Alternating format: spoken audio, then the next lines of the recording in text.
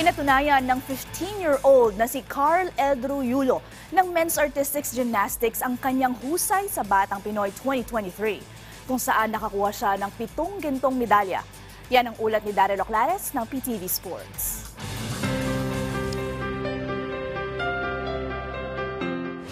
Muling pinatunayan ni Carl L. Ruyulo ang kanyang galing matapos niyang pagharian ng pitong events ng Boys FIG Junior 14 to 17 years old para sa Men's Artistic Gymnastics na ginanap noong Martes sa Gap Gymnasium sa Intramuros, Maynila. Pinangunahan ni Yulo ang vault, parallel bar, floor exercise, high bar, pommel horse, rings at individual all-around. Maaari pa itong madagdagan ng isa pang ginto kung magwawagi rin si Yulo at ang kanyang kupunan sa team event. Sa naging panayam ng PTV Sports kay Yulo, sinabi niya na masaya siya sa naging performance niya sa Batang Pinoy.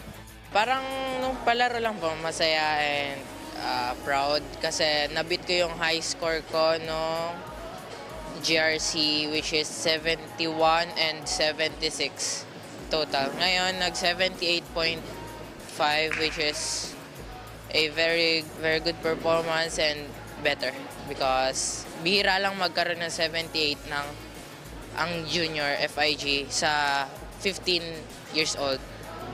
Like, ang nakakaabot lang po kasi ng ganong score is ah, mga 19, ganon, mga 19, 18, 17.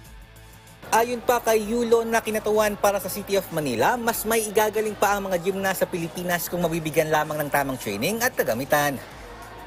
May mas igagaling pa po sila actually if if there is a better equipment in their gyms and better coach. May mensahe rin ang nakababatang Yulo sa mga kapwa niya gymnast. Ah, huwag kayong laging susuko and gawan nyo lagi ng paraan lahat ng mga ginagawa nyo. Magtiwala lang kayo sa sarili nyo. Binigyang papuri naman ng kanyang longtime coach na si Raylan Capilan ang pinakitang galing ni Yulo sa Batang Pinoy.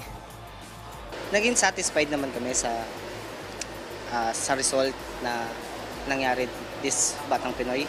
Ang comment ko sa kanya is, well, pagpatuloy namin tapos yung target namin sa mga susunod na competition is mas magpupursige pa kami para mas mahigitan pa namin kung ano yung nagagawa namin ngayon para pagdating ng competition sa mga international is lagi kaming prepared.